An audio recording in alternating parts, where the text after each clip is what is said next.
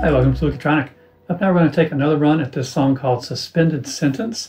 It's in the key of B, we're going to use a couple of uh, flutes that will fit. This B Mojave flute from Frank Harter, and this E xiao from Geoffrey Ellis.